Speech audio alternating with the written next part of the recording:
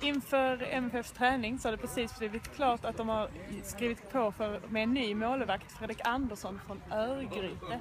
Det är din kommentar på det, Åge?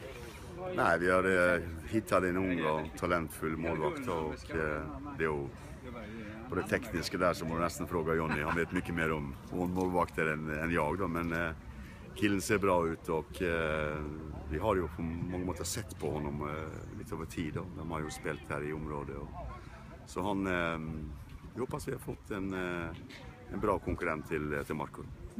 Hur eh, länge har han skrivit på för? Det vet jag faktiskt inte. Det måste nästan eh, fråga Daniel också, för att eh, han har mer eh, koll på de eh, sista tekniska. Han kom in just nu i morse och, och det var, var avgjort nu i morse så du får ta det med honom. Vet du när han är klar för spel? Han är klar direkt för att spela. Han, eh, han har gjort eh, sin läkarundersökelse och vi har allt på plats till att ta honom med i, eh, imorgon till, till Salzburg. Okej, tack så jättemycket. Så.